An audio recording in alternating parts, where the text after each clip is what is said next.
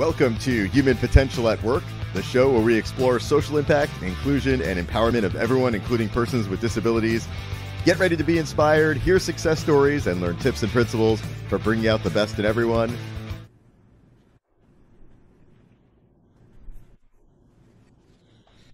Hello, everyone. This is Debra Ruh, and this is Human Potential at Work. I'm the CEO of Ruh Global Impact, and I'm really excited about our guest today. I was teasing her before we came on air saying that I was going to need the rest of the afternoon and maybe all day tomorrow too to talk about this topic because this is a very important topic and certainly very relevant to what we're all living right now during the COVID 19 crisis.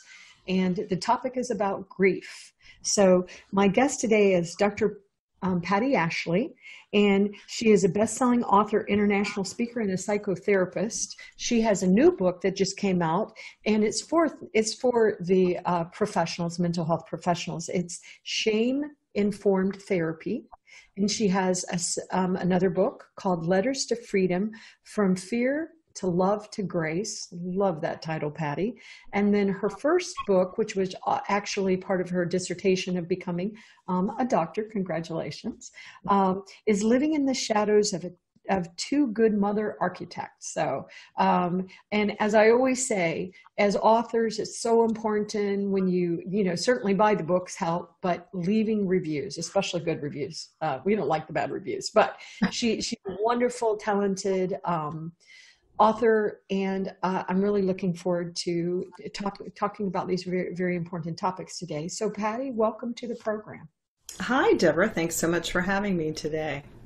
So, Patti, tell us a little bit more about your work. It's it's very interesting, and you you go in some directions I'm not seeing others go in as much, but it feels powerful, especially in the times we're in right now.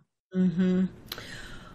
Yeah, we are definitely in a time of collective grief right now. And my work really evolved from my experience of losing my father when I was 11. I'll just go straight to the, the heart of, of, of my, how I got to where I am. Um, 11 years old, sudden heart attack. Nobody really wanted to talk about it because we just didn't talk about grief. We just, you know, back in the day and still a lot today, it's let's get over it. Let's move on. Let's get through it. And, and having been raised Catholic, there was another element of, um, you know, in the Catholic faith, you believe that you've gone, gotten to the promised land, you know, when you die. It's supposed to be like better out there. And so that was the myth that I was told, and I didn't buy it, but didn't know what to do at 11 and so at, as a teen i decided i wanted to be a psychologist but i wasn't doing so great in school because i was a little depressed from having grief uh, going on that i didn't know what to do with so the guidance counselor told me i wasn't smart enough to be a psychologist of course of course yes of course you were told that Oh, how sad! I'm sorry. I'm sorry. So my career path took a wind, took some winding turns, but they were all helpful in terms of bringing me to where I am today. Um, and, you know, still my heart is really with grief and helping people understand grief and giving them a place um, to talk about things. That, that's what I, you know, when I was a teen said I want to give people a place to talk about things that seem really hard to talk about. So I was a special education teacher and then a parent educator, and then I got licensed here in Colorado uh, 21 years ago. So I've put together all the work that I've done in these various, you know, arenas, and it really helps inform my work as a therapist. Yeah, and, I, I love that you were a special education teacher. I know we talk a lot on this show about inclusion of people with disabilities and trying to reduce um, the societal barriers associated with that that some people are less important than other people. And, and you know it's it's it's a shame when our counselors I, i've had counselors do that to me as well. I had a teacher tell me i was a terrible writer and i should definitely not ever be in uh, a business where i had to write. And, and it stuck with me so long. Still still yeah. that voice will play in my head. And um, they become great teachers, but they also are abusers at, at the same time. And I think they forget what their role is. So, um, and I think you're a perfect example of that. So I'm glad you did well, not listen. And I talk a lot about that in my new book, Shame Informed Therapy, on how these messages get set up in our body memory and we believe they're true, especially under the age of seven. All the messages that we're told kind of get absorbed in our body memory and then we are go unconscious in terms of you know the awareness of them. So that's what shame informed therapy is all about. And yeah that's another example even in high school being told that. So of course you know yeah. it enough. sticks with you. Right it sticks with you because i think a lot of us worry that we're not smart enough we're not pretty enough we're not enough enough enough. And so i i know when my mother died and my mother was very ill and she was ready to go and um, the grief surprised me and because i almost thought i would be relieved mm-hmm. and i i i know um, doug freston my producer he he held my hand during it but i remember seven days after she died I was feeling a lot better. And I called Doug up and I, I said, well, done with that. Okay. So and he just laughed and he's like, okay, all right, Debra. Yeah. Okay. Well, I'm glad you're feeling good today. But then of course I proceeded to have months and months and still, still uh, struggle with it. But, and now Patti, we're losing our loved ones and we can't visit them in the hospital and we can't be mm. there with them. And, and I, I just, I, I, I think about that sometimes as someone that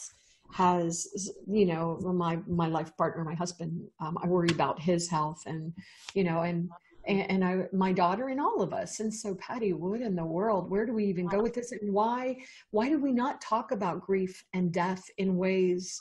I, I can't even. I my heart hurts for you being an 11 year old child and losing your father, and then nobody really knows how to help you navigate it. But it's okay, Patti. He's in a better place. Right. Well, I don't know how helpful that is to you, right. but Right.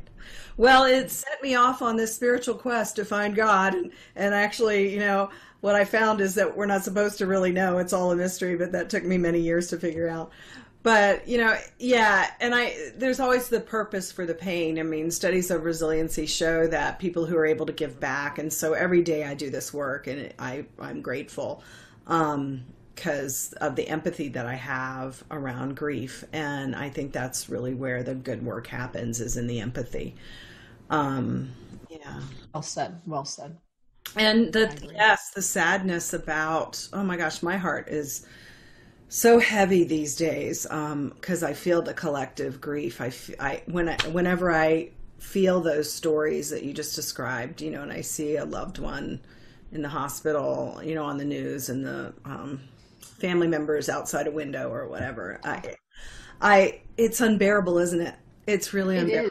It is. It is. You can feel it. it, it I I have an, um, a team member that's in the Philippines, and she um, she sent me a message the other day and she said i'm really struggling with anxiety and i'm i'm so i just am nervous and scared and and she said and, and i don't understand because things are they're going okay you know i'm safe and and she was just really struggling and and i said just know we all are we all are so you might not know maybe other people are better at hiding it, but we're all experiencing the, these intense, intense energies right now.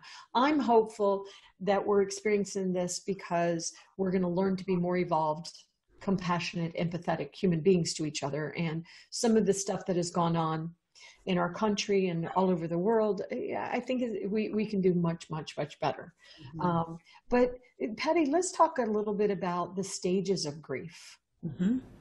Yeah, Elisabeth Kübler-Ross um, worked with terminally ill patients for a long time and, and discovered that there were these stages of grief that most people experienced when they were um, losing a loved one. And it's, um, I'll tell you, I'll, I'll tell you what they are and then I'll give you more detail.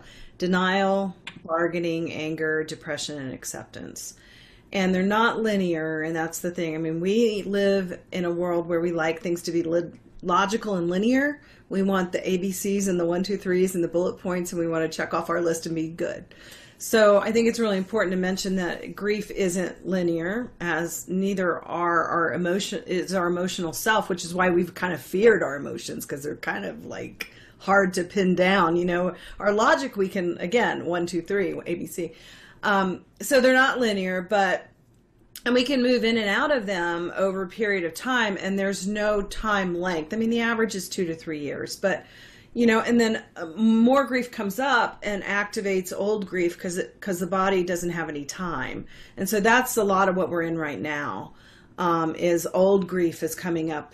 Not not that we don't have enough grief going on present day. We also have the body memory of the of the older grief that maybe we haven't moved through. So let's talk about each one a little bit. There's um, denial. It's kind of like when you're in a car accident and you've had a major, you know, your leg is broken or whatever. You don't necessarily feel it because the body goes into shock. It's the same thing with grief. It's like um, it's too intense. So the body has a, a, a, mechanism that's able to shut it out. And um, and I'll tell you a story. I haven't really said this much lately, but when my father died, I didn't cry in the funeral. And I felt so ashamed. So grief and shame to me are really good friends. They, you know, I'm realizing that. Um, they really are woven together in a lot of ways. But I felt I, I mean, literally could not cry at his funeral, and it wasn't until I started my own work in therapy and my own studying um, in my master's in early childhood that I realized I was in denial. I was in the denial part, and I couldn't. I mean, that was intense to uh, you know lose your father suddenly, and then the funeral's like three days later. Um, you're in shock. You're in shock. Yeah, yeah, I couldn't. I couldn't. But I felt so much shame. Like, what's wrong with me? I can't cry at my father's funeral. So it was such a relief when I uh, I understood the stages of grief. I went, oh, no wonder. That's why.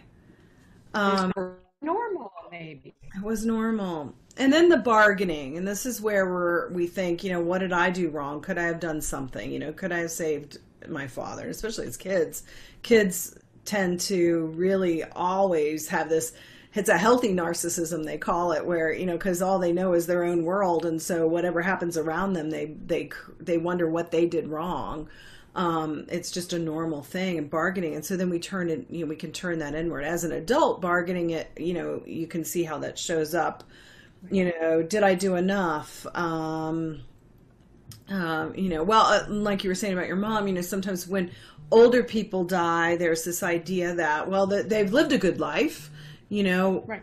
why am i upset about um uh i've just lost you guys. Hang on. Let me get your screen back.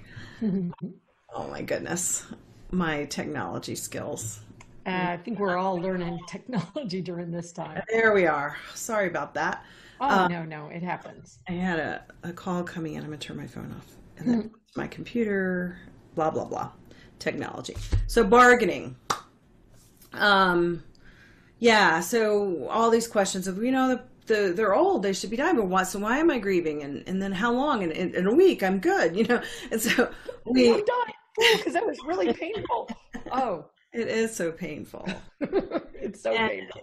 Yeah, and then the anger comes up, and sometimes it's hard um, to be angry at people for dying. I know that that was a hard one for me, you know, because my dad's in heaven and and la la la. Um, and so and he's so happy, Patti. Why would you not want him to be happy? Exactly. Because he's my dad. I want him here. So sorry. Yeah. So the anger, but anger is a what we've learned is that you know feelings and behavior are two different things. But it wasn't until the last century when we started researching child development and human behavior. Um, I always say we're the only species that has to research ourselves to understand how to get along with each other. we did it pretty we did it pretty bad for years, but it was really more about survival, you know, because lifespans were shorter and we didn't have the medical technology that we have now. So we're living longer. And one of my instructors had said we have the luxury of really looking at our emotional self. So what we've learned about feelings, my favorite line is all feelings are okay, but all behavior isn't. So the feeling of anger itself is is is energizing and helps give us clues. When we try and not be angry and shut our feelings down, that's when it turns into something else or when we act out our feelings and just get mad at people because we're, you know, lashing out. That's not effective.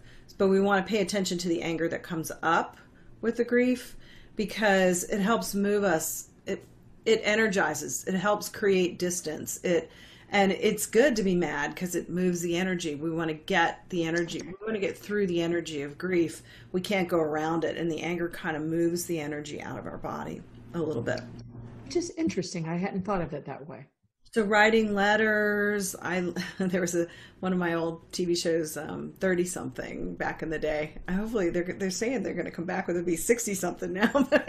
really, there was a scene where they go to the airport and they lay on the hood of a car, and and when the airplanes go by, they just scream you know yeah, so there's yeah. a healthy way to release anger. You know anything you know there are scream rooms in the hospitals some hospitals now for people who've lost people in you know car accidents you know sudden um, acute loss just to scream. So it so there's there's uh, a value to anger um, as long as it's effect uh, you know we have a safe container.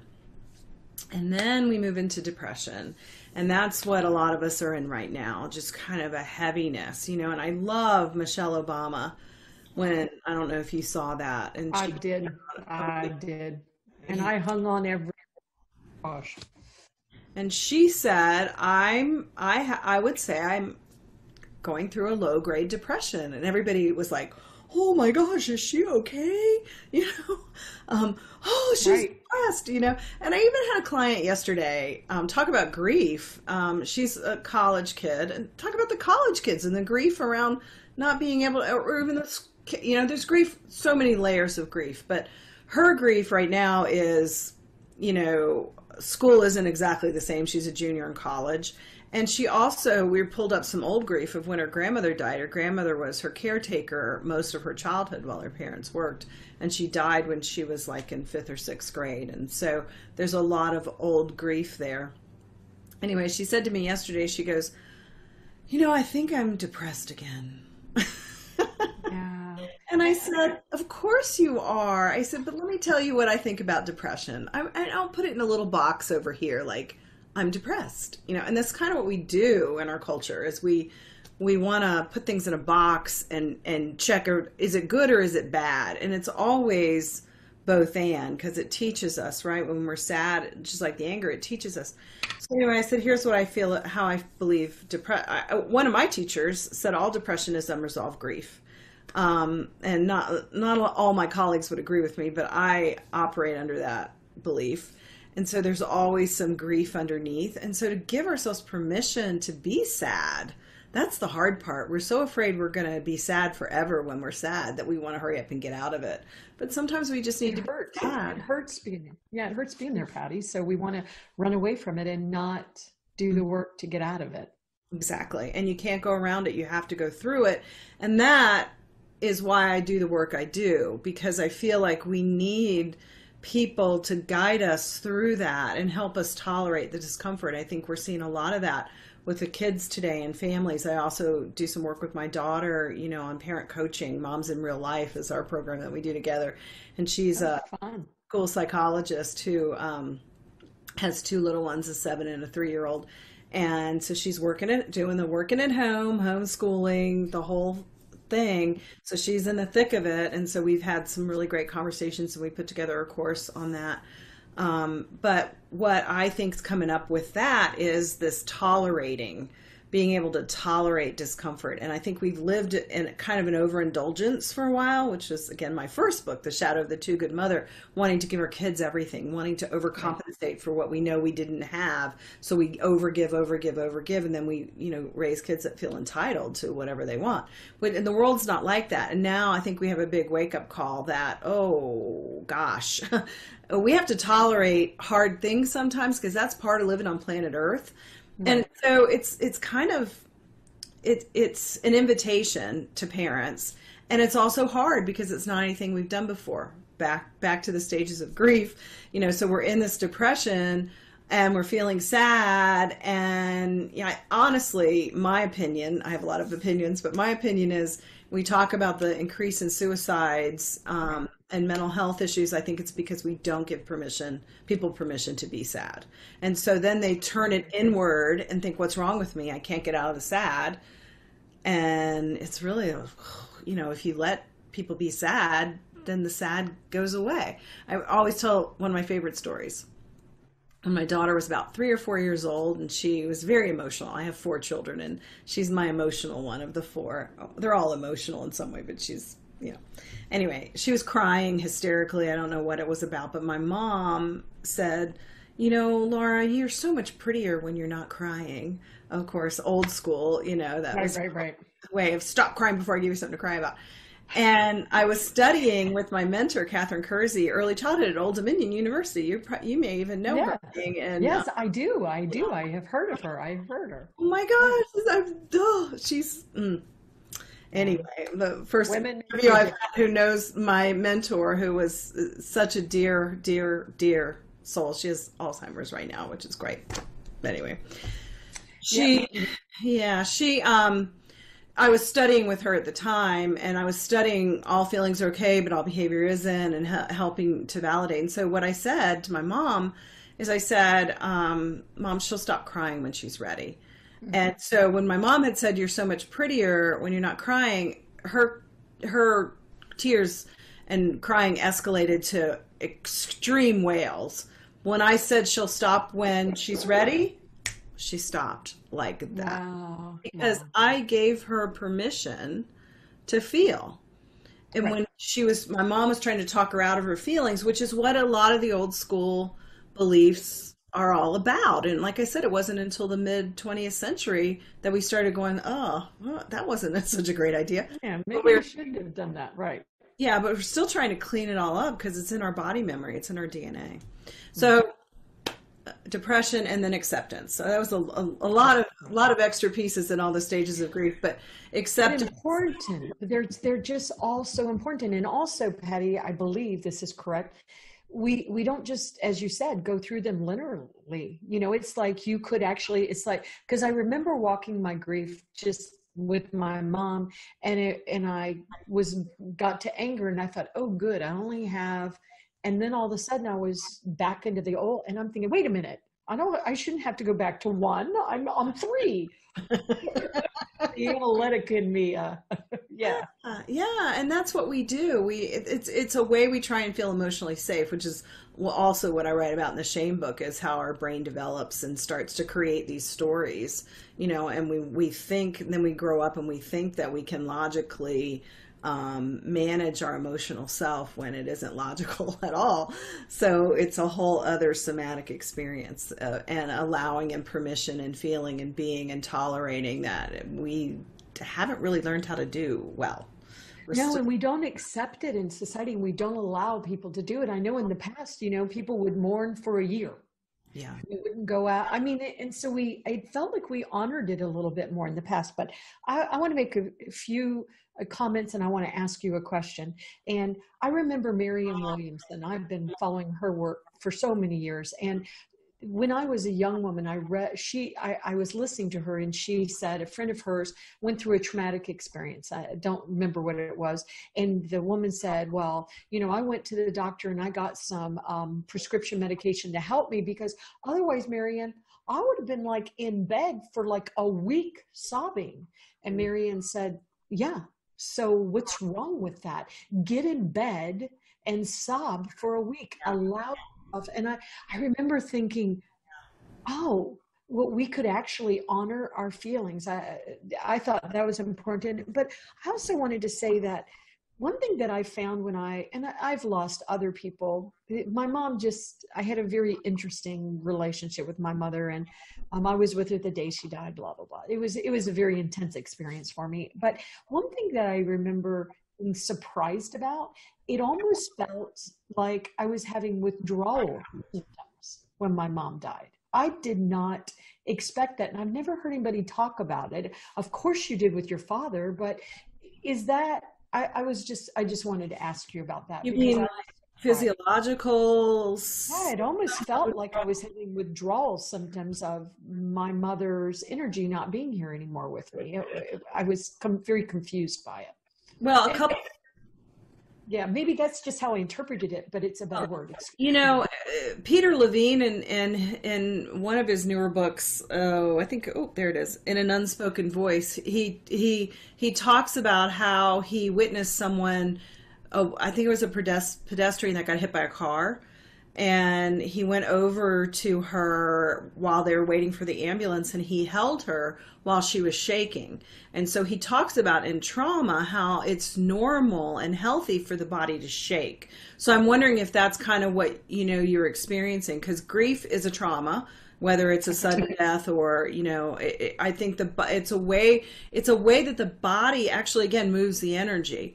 And so what do we do? We give them an injection of something to stop the shaking right? Which i'm not saying that's good or bad and i'm not saying medication is good or bad but i want to go back to marianne williamson because i think it was her book tears to triumph from tears yes. to triumph where she she i think i read that in there. And sigh of relief for that for that very reason. And again, that's exactly what I'm talking about is how do we help witness people through that? My I have a big dream, but very little money in the bank. So if there's any big investors out there, let me know. But I did, I, yeah.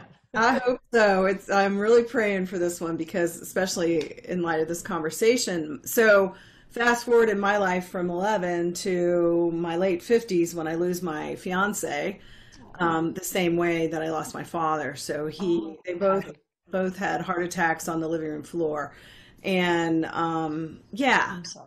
And so, so I wrote my. Well, thank you. So I wrote my book, Letters to Freedom: From Fear to Love to Grace, because I was in in such awe. You know, I'm going to use the word awe here of what had happened because he was such a dear heart and such an important person in my own personal healing um, in in terms of his availability and relationship like I'd never had before. And um, so to lose him suddenly that way, I felt like I knew he was going to help me continue to heal from losing my dad, but I didn't think it would be this way, right?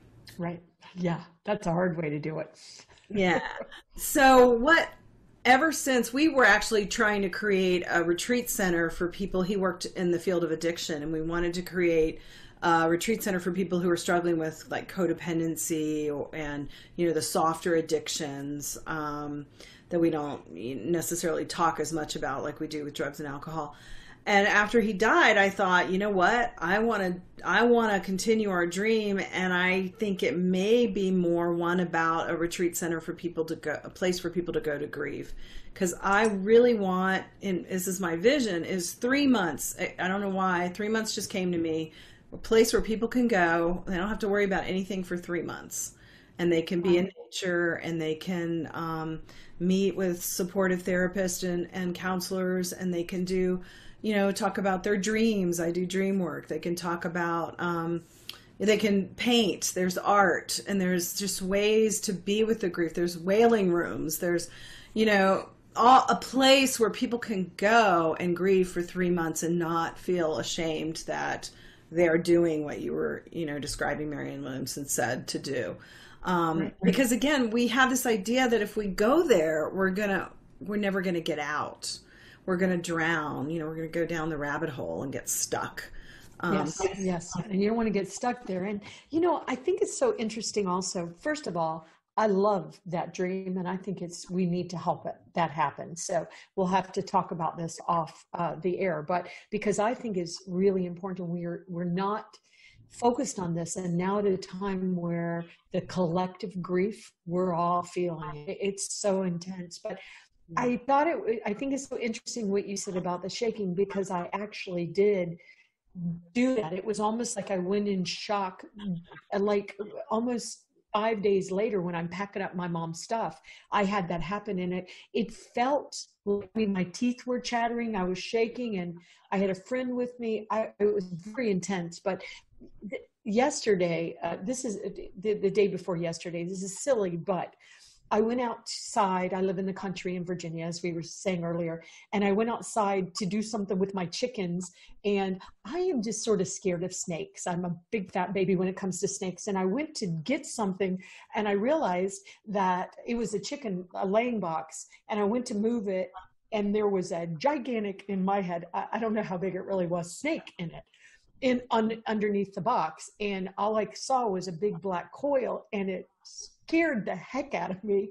And I ran out. And then what I did was I just screamed three times. And I thought, okay, what are you doing? But it felt like it helped me really? get rid of some of that scary energy. I, I it, mm. And I thought, oh, and not I still was scared and I'd left the eggs in there and snakes love eggs. So I actually had to walk back in there and get the eggs. But I've become braver these days as my husband's dealing with dementia. So normally I would be like screaming for my husband to deal with it.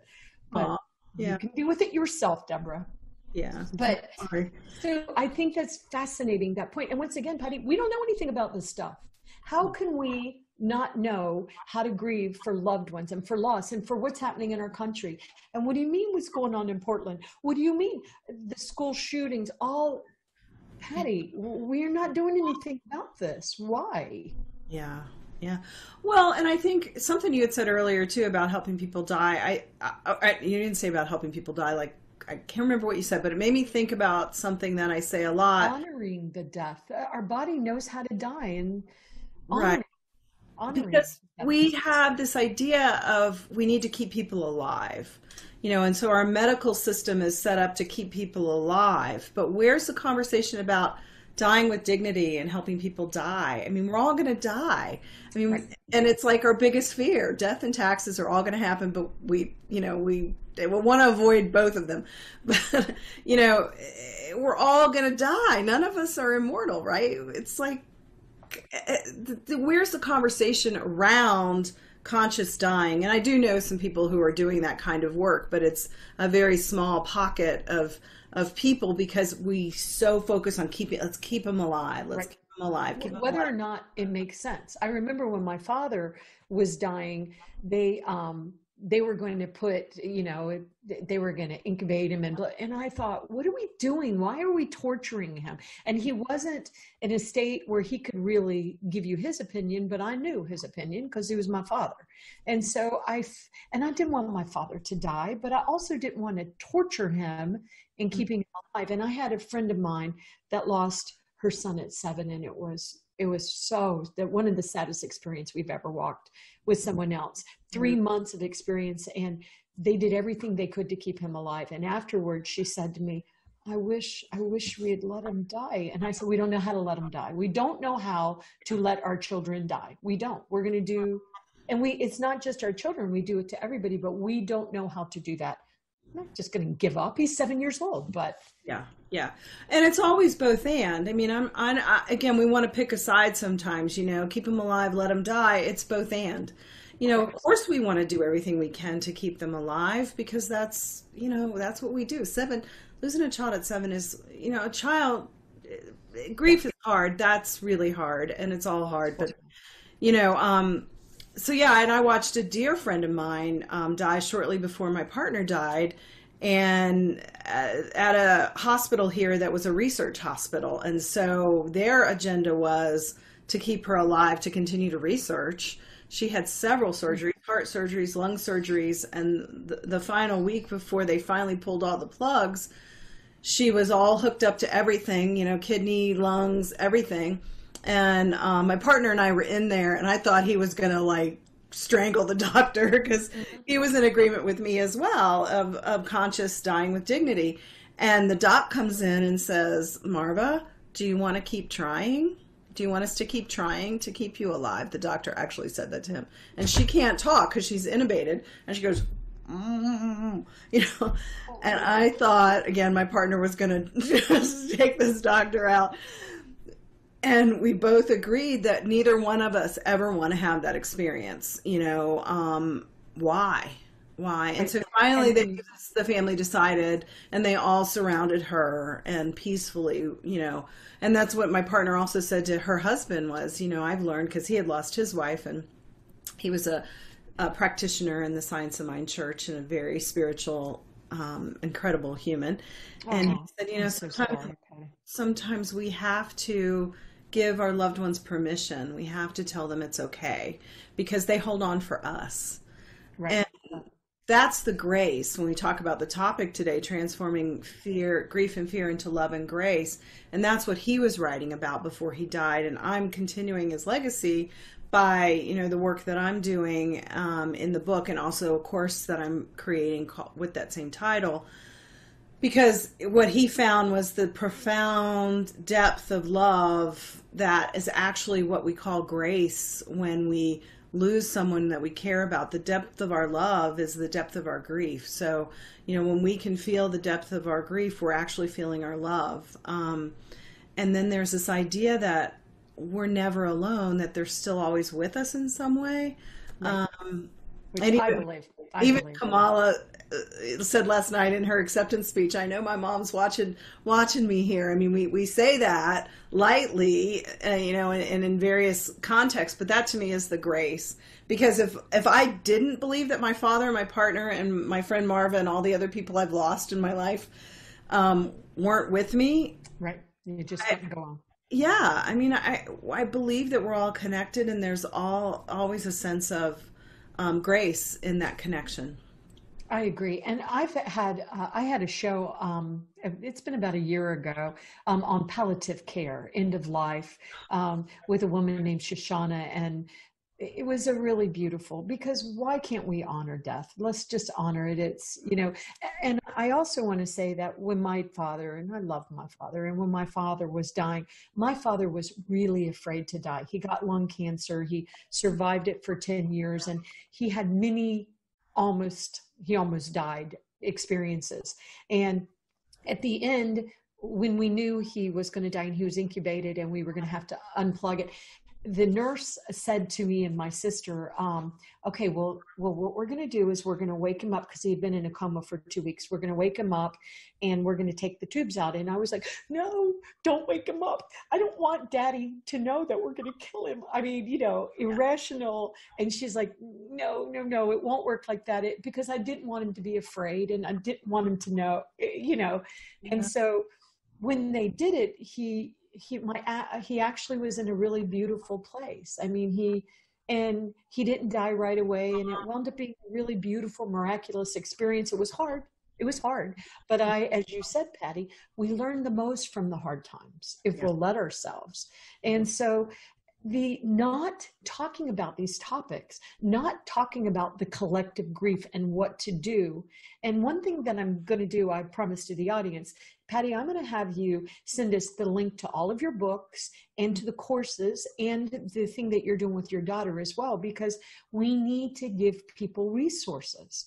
Uh, we're not, we, we're like to, i was blessed to have doug my you know one of my dearest friends who's a you know is in the field walking me through it, but he was walking me through it. I mean, he was on the phone with me constantly because we live in different states, but it's, you know, that we have a collective grief and we're not dealing with it and people are traumatized. Yeah. Yeah. Yeah.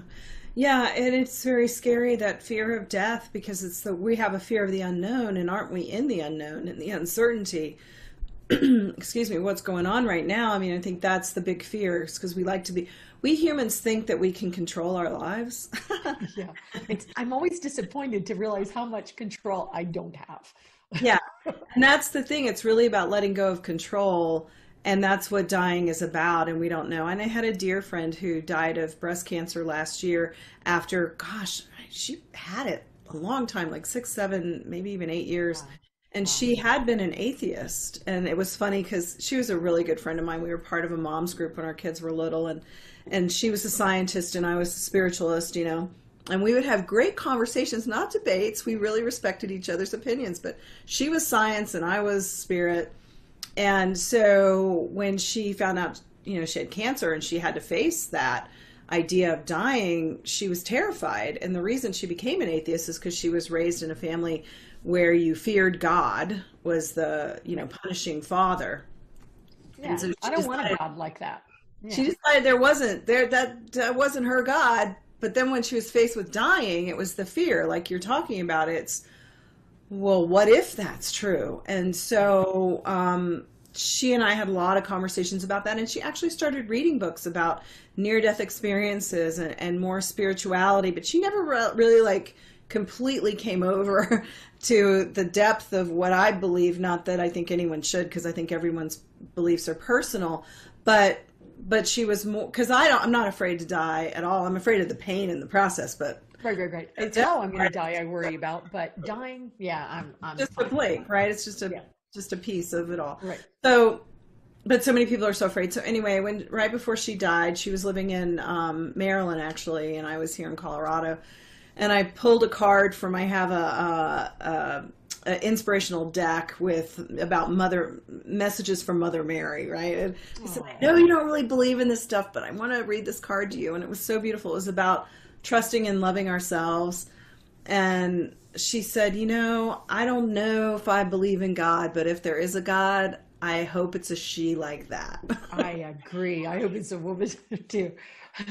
well, you know, I also want to talk about that, and I know we're running out of time, but because I want to make sure I get you off on time. But um, I know that you know my I've talked about this in there. My daughter has Down syndrome, and she lost multiple friends with disabilities as she was growing up, and mm-hmm. and you, you gave that beautiful example of your daughter crying. But what do we? What should we be telling our children? I, I don't think we're prepared. We're not preparing adults, and we're certainly not preparing children for these conversations and and children know something weird's going on there's an evil scary invisible covid-19 virus out there but you know what, what should we be telling our children mm-hmm. yeah and my daughter and I had talked a lot about that because it's such a good question because it is scary. And I think the main thing is to validate the feelings. All feelings are okay, but all behavior isn't. So when our kids come to us and they say, I really miss my friends, you don't want to talk them out of that and say, "Oh, but you know, we've got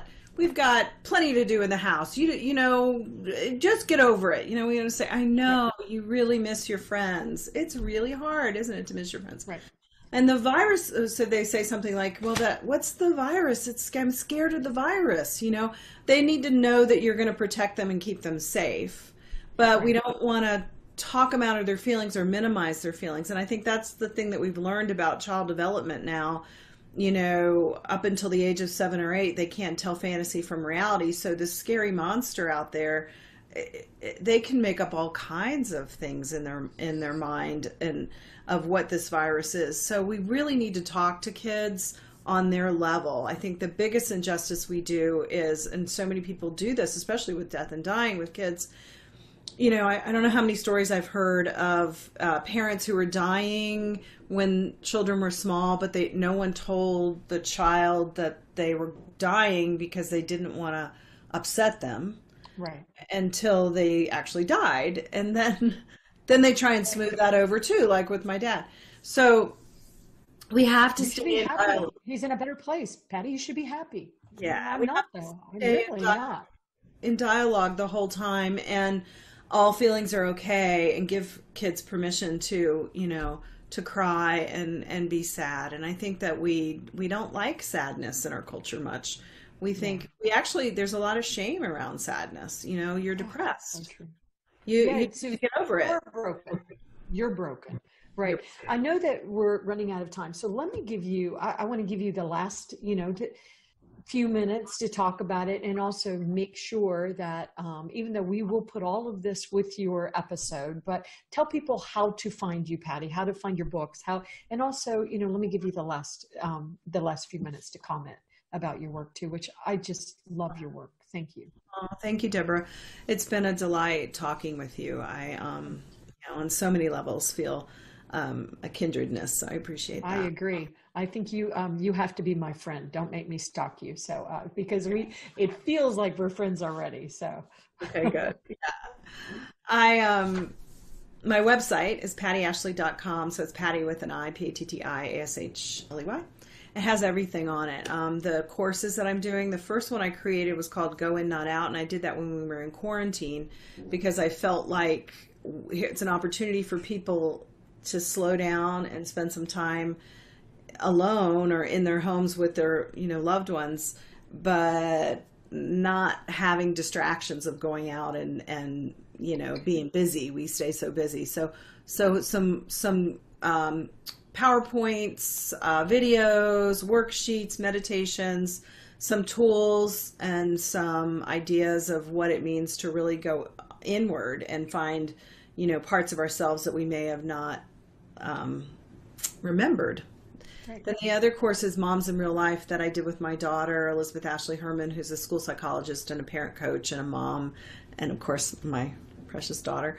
Um, and that was fun because she did a whole PowerPoint um, called Screen Time screen time. So talking about you know how kids are on the screen and how there's um, so much um, emotion going on and how to help maneuver that. So again, PowerPoints, videos, worksheets, meditations, and then the third course that I keep putting off the launch date because I want it to be really special is this one, the transforming grief and fear into love and grace. So hopefully that'll be coming out in the next month or two. Um, and my books are all on my website too, all three okay. books. You can click the Amazon link. Also, sign up to do work with me online if you want to do authenticity architecture um, online. I can do that, and yeah. So, are you on social media? I am, and so every Friday at eleven, I'm doing a Facebook Live. Um, promoting the new book right now and going to have some guests coming up in September who you know, work with people around shame. One of my dear um, musician friends here, Rebecca Folsom, does vocal freedom and helps people express themselves through their voice. I've heard of her too. So yeah. Oh yeah, she's amazing. I recommend D- um, Doug Foresta because okay, he's Doug. doing a lot of courses for the Daily Om now. So um, right. he's brilliant, brilliant. So, Great. well, um, Doug will definitely do that. Um, so yeah, Friday at eleven. I'm not doing. I'm not going to be on tomorrow because I'm attending another um, training. But uh, yeah, going forward every Friday at 11 Mountain Time, you'll see me on Facebook. So I'm on, I, yeah, I'm on all the social media, Facebook. I'm not great with Instagram. I'm still learning it. Um, I have a YouTube channel. Lots of videos that I've done are on YouTube. Okay, good, good. I'll get you to send me all the links, and we'll make sure the audience knows it. And also, I would love to have you and your daughter come on and let's continue the discussion. So we'll talk about that offline as well. But I think that would be very helpful for the audience. So, Patti, thank you for all of your work. And I'm so sorry for all the losses that you, you know, have recently. Uh, that's so sad losing your um, you know your partner like that but he went out real fast so good for him too but yeah that's the way he wanted it and that's the way i want it too so. Right it's just sort of shocking for those that love him but right. thank you so much patti and i uh, so appreciate the audience and let me know if you want us to do different topics but we definitely will talk patti and her daughter to come back on because i think that would be very interesting. So thank you to everybody that supports the work that we're doing and patti thank you so much for all your work. So talk to everybody next time. Bye bye. Okay, bye bye.